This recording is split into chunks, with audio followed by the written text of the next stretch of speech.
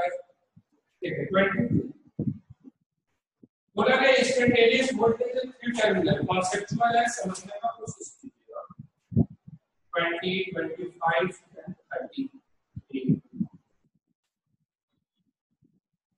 बोला गया कि the instantaneous voltages at three terminals mark x y and z are given by देखिए कोई भी टर्मिनल है x टर्मिनल का वोल्टेज हमें गिवन है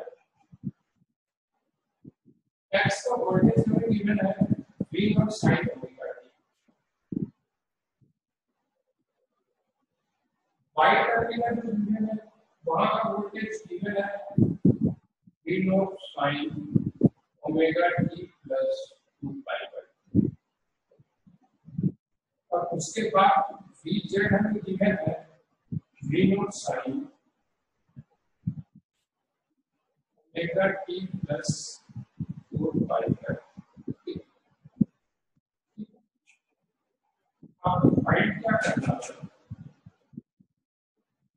फाइंड v x y और v z फाइंड करना है फाइंड करना है y और v y z तो जब आपको आपको पहले पता था कि इस टर्मिनल ए है और यहाँ रेजिस्टेंस लगा होगी यहाँ का वोल्टेज ये है और ये वीबी जब हमें वीए भी पूछा जाता था तो हम क्या करते थे? वीए माइनस वीबी लिखते थे। लिखते थे या नहीं लिखते थे? वीए माइनस वीबी लिखते थे। तो सेम यहाँ पर भी, यहाँ पर आपसे पूछ लिया गया वी एक्स वाई तो क्या लिखते हैं V X minus V Y V X minus V Y तो वाई वी एक्स क्या हो गया V nought sine omega T minus V nought sine omega T plus two pi by इसमें देखिए V nought sine omega T यानी ये V nought यहाँ पर है। एक V nought sine omega T zero phase पर है, दूसरा वी नॉट कहाँ पर होगा, दूसरा वी नॉट है। ये तो एक्स वाला मैक्सिमम बता दिया हमने कि वाई वाला मैक्सिमम जो नॉट है वो इतना एंगल लीड कर रहा है ओमेगा टी से 2 पाई बाय 2 पाई बाय 3 ठीक है। विच 120 डिग्री 120 डिग्री अब यहाँ पर जो हम रिलेटेड निकालेंगे इन दोनों वेक्टर का जो हमारा पहले मैक्सिमम निकाल लेंगे फिर आरएमएस निकाल लेंगे तो हमें आरएमएस पूछा है इसका मैक्सिमम v1 है इसका भी मैक्सिमम v1 है दोनों के बीच का एंगल क्या 120 डिग्री तो v nought of x y को निकालने के लिए चाहेंगे v nought of x y vx का स्क्वायर माइनस vy का स्क्वायर पर लिखेंगे इसका स्क्वायर हम लिखेंगे v नॉट का स्क्वायर प्लस v नॉट का स्क्वायर इसका भी मैक्सिमम v नॉट इसका भी मैक्सिमम v नॉट का स्क्वायर अब देखो हमें क्या किया हुआ माइनस बोला गया है। तो माइनस में वेक्टर एडिशन में जानते हैं यहाँ पर होगा 2 v nought 2 v nought square into cos of 120 degree 2 v nought square into cos of 120 degree ठीक है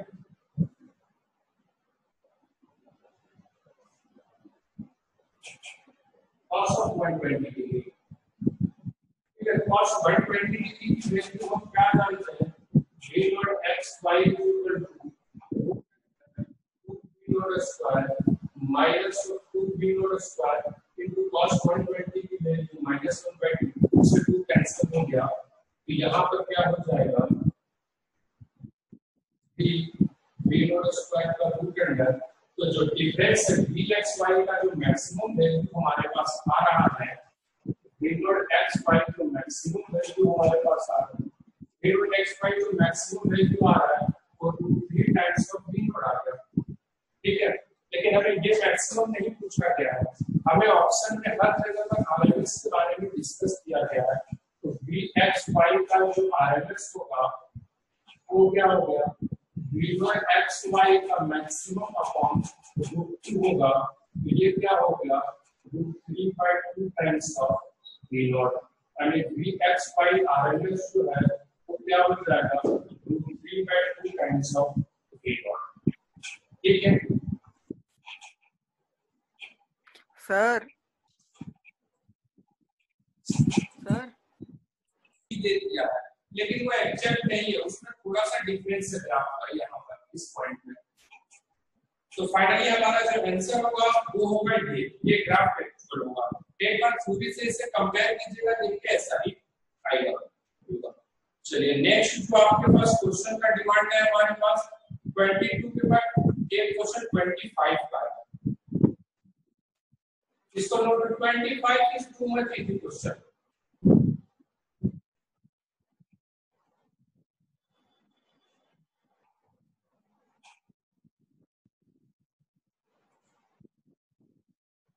twenty five हमें क्या बोला? इंडक्टर का एनर्जी तो इंडक्टर का एनर्जी कितना चेंज हुआ है? Change in inductor energy inductor energy क्या लिखेंगे हाफ़ एल आई फाइनल का स्क्वायर माइनस आई इनिशियल का स्क्वायर प्लस माइनस जो भी आएगा चेंज तो चेंज है। तो अच्छी बात है कि फाइनल इनिशियल भी दे दिया है आई इनिशियल दे दिया हमारे पास 10 एम्पियर और आई फाइनल हमारे पास दे दिया क्या 25 एम्पियर तो अपने पास है जो प्रॉब्लम आ रहा है, एक ही चीज़ का आ रहा है, वो किसका आ रहा है? एल का। एल नहीं गिवन है। लेकिन गलती से हमें ईएमएफ ऑफ़ कॉइल दे दिया है B is equal to L into di by dt होता है। हम माइनस को नहीं ले रहे क्योंकि हमें सिर्फ़ मैग्नीट्यूड का मतलब है। ठीक है? तो E हो गया। E E हमें दे दिया है 25 is equal to L. Di हम डायरेक्ट लिखते हैं करंट कितना चेंज हो रहा है? तो 10 एम्पीयर टू 25 एम्पीयर कितना चेंज हो गया? 15 का चेंज हो गया। और कितना 1 सेकंड में। तो यहाँ से L जो है आ गया। L जो है 25 बाय 15 5 बाय 3 हेनरी आ गया। ठीक है? अब सॉल्व कर दीजिए। अब इसे यहाँ पहुँचा दीजिए, सारी चीज़ें ठीक है ना? आसानी से आंसर आ जाएगा। नेक्स्ट क्वेश्चन बताइए।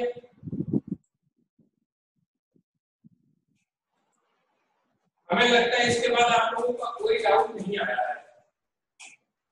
ठीक है? तो इस सेशन को मैं consider the alarm circuit shown in figure if the switch S is to T equal to 0 then the amount of charge that passes through the battery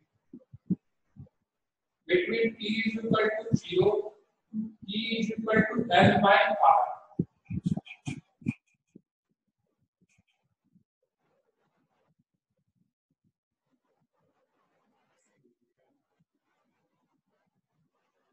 तो आ गया, वेरी गुड अच्छा क्वेश्चन है ये। देखिए, ये क्वेश्चन में देख करके तो लग रहा है कि अलार्म सर्किट है।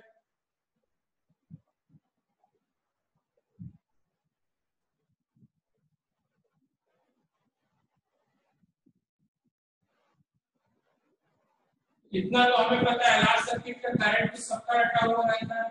आई इक्वल टू क्या होता है? ई नॉट बोल है E by R 1 minus e to the power minus r e by l यही होता है।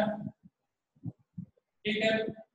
तो अब हमें क्वेश्चन में क्या बोला? अमाउंट ऑफ़ चार्ज कितना चार्ज फ्लो किया है? तो भाई आई को हम जानते हैं चार्ज कैसे करंट इन dt टाइम अगर हम करंट को उतना से मल्टीप्लाई कर देंगे तो हो जाएगा। लेकिन करंट हमारा कांस्टेंट है नहीं करंट वेरी कर रहा है। तो इसी करंट को हम लिख देंगे dq dt which equal to लिख देंगे e r 1 minus e to the power minus r t by l इस dt को उठा करके हम इधर ले करके आते हैं। तो चार्ज फ्लो का निकाल देंगे 0 से l by r तो अब आई हाफ़ आई होप सो कि अब आप लोग इसको सॉल्व कर सकते हैं। हाँ लास्ट में फाइनली जो आंसर आएगा, नीचे 1 by e करके आएगा तो e की वैल्यू जो है वो 2.7 आएगी। यहाँ से सॉल्व कर लीजिए? अब इसे इंटीग्रेट कर दीजिए, यहाँ d हो जाएगा। और यहाँ पर भी अगर बोलिएगा तो मैं सॉल्व कर दूँगा, नहीं तो आप लोग सॉल्व कर सकते हैं। इंटीग्रेशन ही है सिंपल सा।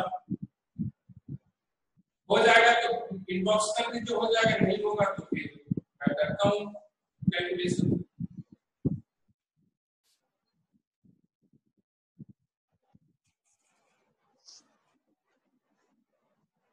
ठीक है, हो जाएगा।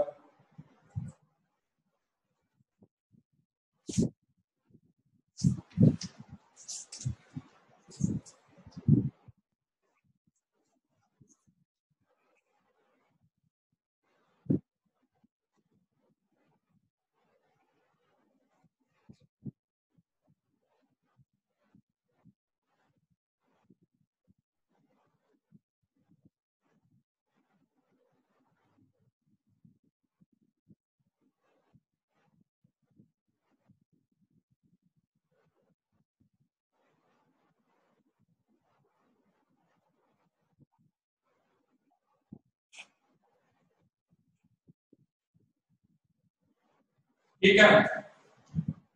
छह क्वेश्चन है इंटीजर टाइप के। मीडियम लेवल के क्वेश्चन है, कोई ज़्यादा टिपिकल क्वेश्चन नहीं है। जितना आपको थ्योरी पढ़ाई गई, उसी में से बेसिक छोटे छोटे कॉन्सेप्ट कर करके है क्वेश्चन तीन, छह के दो क्वेश्चन को सॉल्व कर लीजिएगा। जितना यहाँ न्यूमेरिकल सॉल्व किए क्लास नोट्स पढ़े, इन सबका क्या है? वो चीज़ें क्वेश्चन सॉल्व कर लीजिएगा। ठीक है? और अपना टाइम निकाल करके इसका जो ट्वेल्थ में अटेंड किया वो एनसीईआरटी को सॉल्व कर चुके हैं ऑलरेडी तो एक बार एग्ज़ाम्पल सॉल्व करके देखिएगा। क्योंकि तो देखिए, अभी नया चैप्टर स्टार्ट कर रहे हैं इलेक्ट्रोमैग्नेटिक वेव्स जो है जे क्वेश्चंस आते हैं, वो एक ही फार्मूले पर बेस पर आता है। तो उसको पूरा का पूरा मैं पढ़ाऊँगा एकदम टारगेट व्यू को लेकर के। ठीक है? पूरे के पूरे टारगेट व्यू को लेकर के पढ़ाऊँगा एकदम पूरे एग्ज़ाम पॉइंट ऑफ़ जेई और नीट के पॉइंट ऑफ़ व्यू से पढ़ाऊँगा कंप्लीटली उसे। तो तब तक इसके और जो डीसी पांडे उधर मॉड्यूल मॉड्यूल के ये क्वेश्चंस हो जाते हैं, उसके बाद छोटे छोटे टॉपिक करके देखिए। एक चीज़ नीक वाले ये गलती मत कीजिएगा कि आप लोग जो है कि बस पढ़े जा रहे हैं मॉड्यूल में सॉल्व करवा दे रहा हूँ लास्ट में तो बहुत अच्छी बात है, ऐसी कोई भी बात नहीं, आपको सॉल्व करना है सारे मेरे सॉल्व करने से कुछ नहीं होना रहा है। ठीक है, हमें बैठने बैठने एग्ज़ाम में बैठना अलाउ नहीं है दिया ठीक है ना बात मुझे एग्ज़ाम में बैठना अलाउ नहीं है। ठीक है, आप लोग जो भी टॉपिक जैसे छोटे छोटे टॉपिक पहले जैसे सॉल्व करते थे केसी या किसी का एक टॉपिक हो गया है तो उसके पीछे दस पंद्रह क्वेश्चन गिने हैं, उसके तो उसको कर लिया कीजिएगा। तो उससे क्या प्रैक्टिस मेंटेन अगर बात में तो प्रीवियस ईयर सॉल्व कराऊँगा जेई के भी क्वेश्चन को सॉल्व कराऊँगा जेई का क्वेश्चन ज़रूर सॉल्व कीजिएगा नीट वाले कहीं से कुछ भी ज्ञान आएगा, ये ज्ञान को हमेशा रखिएगा। कि जेई का क्वेश्चन सॉल्व करके जाइएगा। जेई मेंस के क्वेश्चन को सॉल्व करके जाइएगा। क्यों बोल रहा हूँ, वो आपके पास मैं इस चैप्टर में मिल गया होगा। इस चैप्टर में सारे चैप्टर को सॉल्व कीजिएगा तो सारे चैप्टर में प्रूफ मिलेगा। अगर 2019 में आया हुआ है जेई में तो हो सकता है 2020 या 2021 में नीट में आएगा। ऐसी प्रॉब्लम मैं सारे हंड्रेड परसेंट नहीं बोल रहा हूँ, लेकिन पाँच दस परसेंट बोल रहा हूँ, अगर दस परसेंट में दो चार क्वेश्चन मैच कर जाता है तो फिर क्या प्रॉब्लम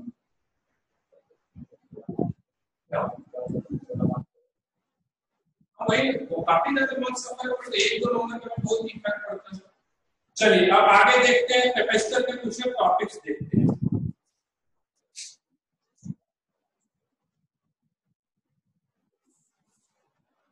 देखिए जितने आप बात करें पैरेलल की तो parallel plate capacitor parallel plate जो एसी सर्किट है, उसका एक तरह से देखिएगा तो मैं क्वेश्चन सॉल्व करवा चुका हूँ। पैरेलल एसी सर्किट का एक क्वेश्चन है, उसको मैंने सॉल्व करवा रखा है। तो ये मेंस के से उठ करके ये मेनली एडवांस के पॉइंट ऑफ़ व्यू से है। इसको एज ए रिज़ल्ट के नज़रिए से जेई वाले नीट वाले भी देख लीजिएगा, ठीक है। पैरेलल आरएलसी सर्किट के बारे में हम बात करते हैं।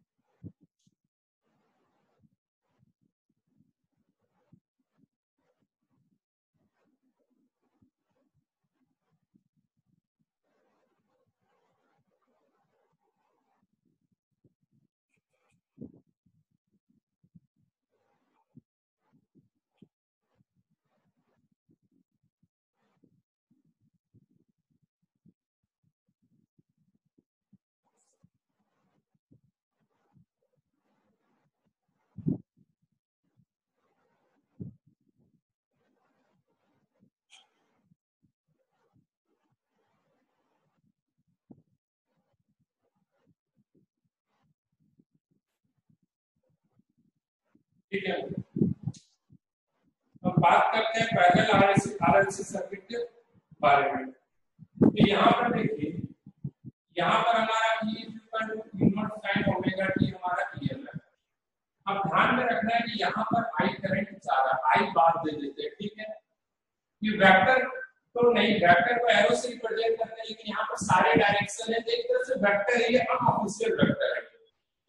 करंट वेक्टर का नहीं है, लेकिन यहाँ पर क्या अनऑफिशियली हम इसे डायरेक्शन के साथ में लेना ज़रूरी है क्योंकि हर जगह पर करंट का डायरेक्शन क्या होता है? चेंज हो जा रहा है। तो यहाँ पर क्या हो गया, यहाँ से जो करंट फ्लो कर रहा है आई आर बार यहाँ पर करंट फ्लो कर रहा है एल बार और यहाँ पर एरो नहीं है, ये बार है।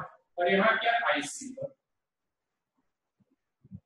यहाँ पर देखो, जो आई बार जो होगा नेट करंट जो रहेगा, वो तीनों का समेशन रहेगा। I R bar plus I L bar, plus I C bar. अब आपको पता है कि करंट अगर हम वोल्टेज हमारा इनवर्ड साइड ओमेगा टी एक जगह पर फिक्स रखें तो ये तो वोल्टेज के डायरेक्शन में होता है। और ये क्या रहता है? वोल्टेज से 90 डिग्री एक आगे रहता है पीछे रहता है। तो यहाँ पर हम डायरेक्टली करंट की वैल्यू जो हम लिख सकते हैं, वो हम लिख सकते हैं रूट अंडर आई आर का स्क्वायर प्लस अब देखो, एक जो है वोल्टेज से 90 डिग्री पीछे और एक 90 डिग्री क्या है? आगे है। तो दोनों के बीच एल और सी के बीच का एंगल क्या हो गया? 180 डिग्री हो गया। तो हम सीधा लिखेंगे आई एल माइनस आई सी का whole square I L minus I C का होल स्क्वायर ठीक है? तो यहाँ आई आर इक्वल टू क्या हो जाएगा? I R equal to E by R हो जाएगा। आई एल इक्वल टू क्या हो गया? ई बाय एक्सएल ये सारे के सारे जो है आरएमएस को रिप्रेजेंट कर रहे हैं। आईसी इक्वल टू क्या हो गया? ई बाय एक्ससी ठीक है?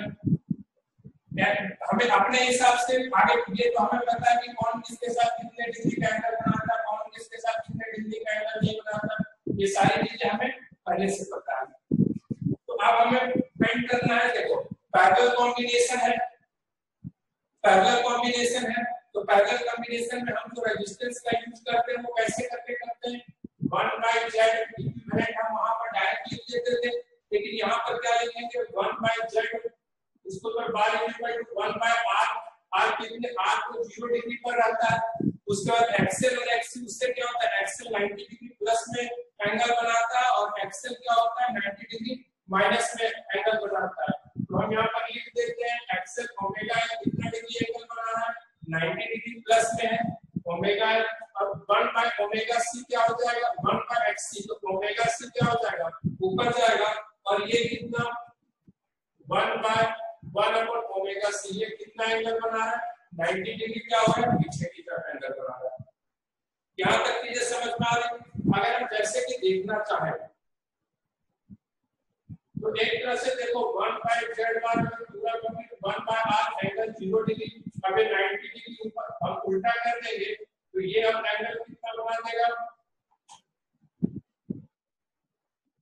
ओमेगा से ऊपर यहाँ माइनस 90 के प्लस 90 तो एंगल जो बनेगा, अगर r वाला टर्म हमारा 1 बाय r यहाँ पर है, ठीक है? तो ये वेक्टर में लेना पड़ेगा क्योंकि एंगल के साथ चेंज करना है। 1 बाय r हमारा यहाँ पर है। तो ओमेगा एल कहाँ से कितना एंगल बनाएगा? जो हमारा 1 बाय ओमेगा है, इससे r से कितना जाएगा? 90 डिग्री नीचे। तो ये क्या हो गया? 1 बाय ओमेगा एल और ओमेगा सी हमारा कितना हो गया? ऊपर जाएगा। कितना डिग्री? 90 डिग्री ऊपर। ठीक है? तो हम इंपीडेंस निकालना चाहेंगे। अगर हम इंपीडेंस निकालना चाहें 1 बाय z निकालना चाहें तो कितना लिखेंगे? 1 by z is equal to root under 1 by r का square plus 1 by omega l minus omega c का स्क्वायर। हमारा 1 बाय z कितना आ गया? इतना आ गया। ठीक है? I इज़ इक्वल टू कितना लिखते हैं? E बाय z तो e बाय z लिखेंगे e और बाय z में क्या हो जाएगा? Root under 1 by r square plus 1 by omega l minus of omega c का होल स्क्वायर चलिए, यहाँ तक नोट डाउन कीजिए आगे बताता हूँ। सर, ये आपने क्या बताया है? सर, ये एंगल वगैरह।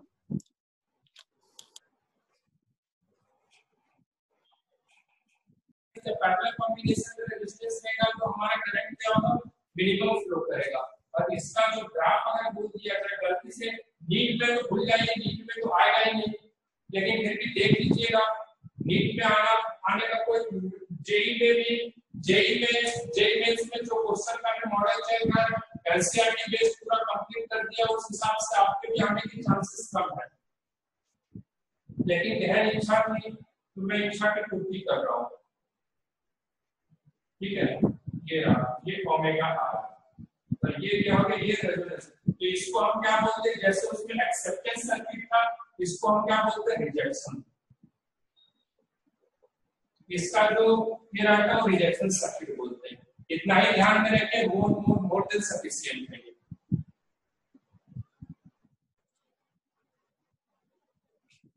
और इससे जो रिलेटेड जितना बता दिया इससे रिलेटेड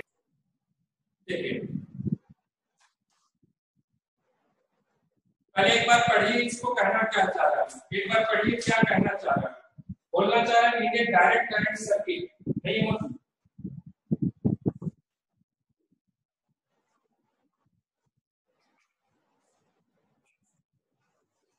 लास्ट साल का मॉड्यूल का जान रहा है कि मॉड्यूल का सब कुछ हो रहा है? क्या हार्ड कॉपी नहीं किया तो आप लोग सॉफ्ट कॉपी से पढ़ाई होता है। आप लोग को लगता है, किनको किनको लगता है कि सॉफ्ट कॉपी से पढ़ाई होता है मुझे तो एकदम नहीं लगता है। एकदम नहीं होता सॉफ्ट कॉपी से पढ़ाई। हार्ड कॉपी होना ही चाहिए। मैं तो मैं मैं हिंदू पेपर एक बार, एक दो बार मैं देखा कि मोबाइल में पढ़ने का कोशिश किया। मैं बोले, वो होता ही नहीं है फिजिक्स नहीं आ पाती पढ़ने में। फिर मैं जाकर के उसको अप्लाई किया। और वो दिल्ली से मतलब बहुत मतलब एक दो कुछ पेपर ही आते हैं मुरादा कभी कभार तो ऐसा होता है कि आज का पेपर है, उसमें कल मिलता है। कुछ नहीं तो कौन हमें देश, दुनिया का न्यूज़ पढ़ने के लिए करना होता है? वो न्यूज़ पढ़ने के लिए ज़रूरी पड़ता है, जिसका कि न्यूज़ है तो तक नहीं पड़ता वो तो आधा लोगों को समझ में नहीं चलिए, देखिए क्वेश्चन में आते देखते पॉइंट पॉइंट के बारे में देखते हैं। ये पॉइंट क्या होता है? देखिए डायग्राम बना हुआ बेसिकली मैं बता एक ये direct current circuit is the help of resistance direct current circuit में अगर डीसी सर्किट जो आपके पास है, उसमें अगर आपको करंट कम करना होता है तो हम क्या करते हैं? रेजिस्टेंस बढ़ा देते हैं। जैसा कि आपने पोटेंशियोमीटर में देखा होगा प्राइमरी सर्किट में एक रेजिस्टेंस लगा हुआ ठीक है? तो अब उसमें क्या होता है? और फिर, लेकिन रेजिस्टेंस को बढ़ाने रेजिस्टेंस को इसलिए बढ़ाते हैं कि करंट क्या हो? कम फ्लो करे, जिससे कि हमारा हीट लॉस कम हो। ठीक है? बट एसी एसी सर्किट में एसी सर्किट में इसी हीट लॉस को कम करने के लिए करंट को डिक्रीज करने के लिए, हम जो यूज़ करते हैं, वो क्या होता है? चोक होता है। ठीक है? But in AC circuit the current can be reduced by choke point ठीक है?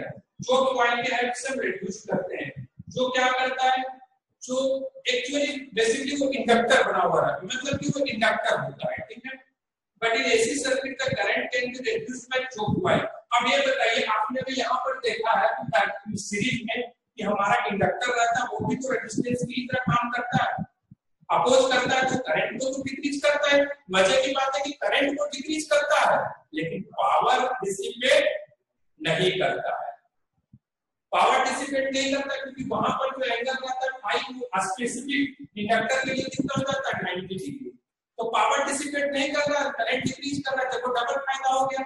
पावर डिसिपेट नहीं कर रहा हीट जनरेट नहीं कर रहा। और दूसरी बात है कि वो क्या हो रहा है करंट डिक्रीज कर दे रहा है तो हमारे लिए देखो डबल फ़ायदे का काम कर रहा है चोक पॉइंट तो वही बोला है but in AC circuit the current can be reduced by choke point which involves very small amount of loss of energy, very small and theoretically zero है और प्रैक्टिकली थोड़ा बहुत तो नेग्लेक्टेड अमाउंट में एनर्जी को लॉस करता है neglected हम इसे नेग्लेक्ट कर सकते हैं। Choke coil is a copper coil wound over a soft iron laminated core और कॉपर कॉइल होता है जो आयरन के ऊपर क्या रहता है सॉफ्ट आयरन के ऊपर लेमिनेटेड होता है। बेसिकली इसका यूज़ हम किस करते हैं? कि पावर डिसिपेशन को मेंटेन करने के लिए करंट को मेंटेन करने के लिए हम इसका यूज़ करते हैं। ठीक है? तो अब देखो करंट के ऊपर इसका फ़र्क कैसे पड़ता है? करंट के ऊपर इसका फ़र्क कैसे पड़ता है? देखिए कॉइल का रेजिस्टेंस को स्मॉल आर मान लीजिए। यहाँ पर स्मॉल आर मान के रखा, उसी की वजह से जो हीट लॉसेस होंगे स्मॉल आर मान लिया गया। तो अब देखो I is equal to E by Z होता है। तो जेड इज़ इक्वल टू होता है root under capital R square plus omega F whole square लिखा हुआ है। तो प्रॉब्लम है कि यहाँ पर इंडक्टर चौक पॉइंट है तभी रेजिस्टेंस स्मॉल आ रहा है तो capital R plus small R का स्क्वायर प्लस ओमेगा ए का स्क्वायर हो गया ठीक है तो अब देखो क्या हो गया यहाँ पर यहाँ पर देखो अब हम बात कर रहे हैं यहाँ in the circuit decrease capacity rate वहाँ पर अब देखो पावर एवरेज क्या हो जाए वीआरएमएस इनटू आईआरएमएस ठीक है वीआरएमएस इनटू आईआरएमएस लिखेंगे पावर एवरेज तो इसके थ्रू जो पावर जाएगा ये जो ये जो हमारा कॉइल है कॉइल के थ्रू क्या हो जाए cos pi r by z होता है इस कॉइल का स्मॉल रेजिस्टेंस क्या small r by z small r by z है तो देखो हम यहाँ पर लिखेंगे अब नीचे लिखा हुआ है रूट अंडर स्मॉल r का square plus omega l square तो यहाँ स्मॉल r नेगलेक्ट कर देंगे तो नीचे क्या बचेगा ओमेगा l और यहाँ पर r ऑलरेडी बहुत स्मॉल है cos phi इक्वल टू 0 हो जाएगा तो एवरेज पावर इनटू कितना हो जाएगा और वैसे भी आपको बता चुका हूँ ये तो थ्योरेटिकल बेस बताया मैं पहले ही बता चुका हूँ कि इंडक्टर के साथ में एंगल कितना हो जाता है? 90 डिग्री होता है? और नॉर्मली हम जब भी पढ़ते हैं आइडियल बेस में नहीं पढ़ते आपको दिखा दिया है कि स्मॉल आर दिया है, लेकिन वो भी उसको नेग्लेक्ट कर दे रहा है। तो हम आइडियली पढ़ते हैं। स्मॉल आर से होता होगा थोड़ा बहुत लॉस होता होगा थोड़ा बहुत लॉस को नेग्लेक्ट करके चलते हैं। तो जो पॉइंट का हमारा बेसिक पर्पस जो यूज़ का होता है करंट को मेंटेन करना। करंट को मेंटेन क्यों करते हैं कि ज़्यादा करंट पहुंचेगा तो बड़ा वाला रेजिस्टेंस ज़्यादा हीट डिसिपेट करेगा। तो करंट को मेंटेन करने के लिए हम जो कॉइल को लेते हैं। जो कॉइल करंट को तो डिक्रीज कर ही देता है साथ ही साथ वो पावर डिसिपेट नहीं करता है। क्योंकि आपके पास क्वेश्चन आ सकता है? कि हमने इंडक्टर ही क्यों लिया? जो ही क्यों लिया? रेजिस्टेंस लगा देते तब भी करंट डिक्रीज कर देता तो आप आंसर दे सकते हैं करंट के थ्रू हमारा पावर डिसिपेशन होता है हीट लॉस होगा। लेकिन जो कॉइल में इंडक्टर रहता है इंडक्टर के थ्रू पावर डिसिपेशन नहीं होगा, जिसकी वजह से वहाँ पर हीट लॉस नहीं होगा। इसलिए हमने जो कॉइल को प्रीफर किया। ठीक है? अब उसके बाद पॉइंट्स टू रिमेंबर किया है। जो coil is high inductance and negligible resistance coil very good ये पता है। जो coil used to control current ठीक है, ये भी पता है, बता चुका हूँ। लिखा AC circuit and current in AC circuit and negligible power loss ये भी पता है कि नेग्लिजिबल पावर लॉस होता है। उसके बाद ये जो coil usual in AC and do not in DC current भाई वैसा ही होना है क्योंकि उसमें इंडक्टर लगा हुआ है। ठीक है, उसमें इंडक्टर लगा हुआ है। जो coil is based on the principle of wattless current बता चुका हूँ कि अभी फाई 90 डिग्री होता है। तभी जब फाई 90 डिग्री होता है तो वॉटलेस करंट का कांसेप्ट आ गया। आयरन कोड जो coil use generally at low frequency air core high frequency आप इसको ध्यान में रखिएगा। आयरन कोड लो फ्रीक्वेंसी और एयर का high frequency resistance of ideal choke coil तो मैं तो कब से बोल रहा हूँ कि आइडियल आइडियल आइडियल होता है। Resistance of ideal choke coil finally AC आपका कंप्लीट हुआ। ठीक है, चलिए।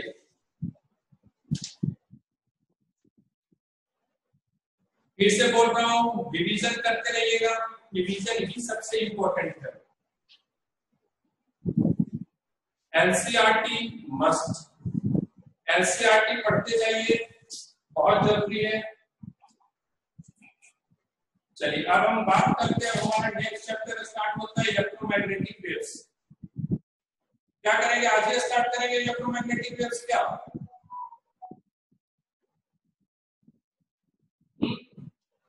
हेडिंग लिख लीजिए।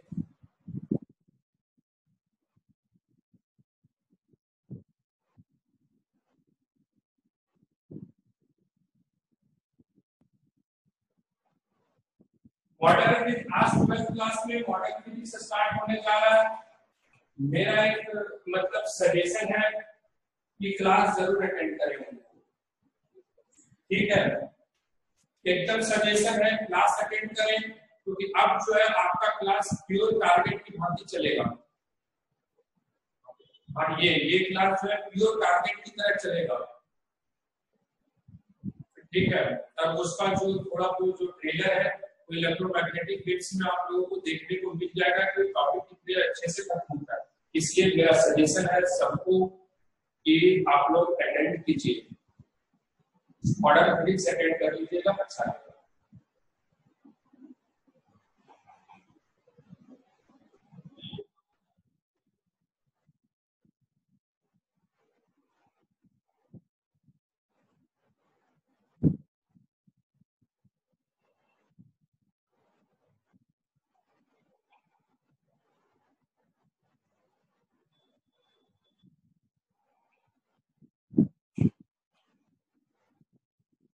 चलिए हेडिंग दे दीजिए बाकी नेक्स्ट क्लास में। दो तीन दिन में कोशिश करते हैं। इस वीक में इलेक्ट्रोमैग्नेटिक वेव्स कंप्लीट हो जाएगा। कोशिश करूँगा फिर मिनट कर फिर आपका रे ऑप्टिक्स वेव ऑप्टिक्स और मॉडर्न फिजिक्स के दो चैप्टर आने मिला जुला के अभी तक पाँच चैप्टर ऑफिशियली बचे हैं। इस वीक के बाद आपके चार चैप्टर बचेंगे। और हाँ एलेवन का। एलेवन का पता है। में वालों के एक चैप्टर के बच्चे में बच्चे में आठ चैप्टर है। लेकिन एक चैप्टर मान लिया और का चलिए ठीक है, आज का क्लास यहीं खत्म करते हैं।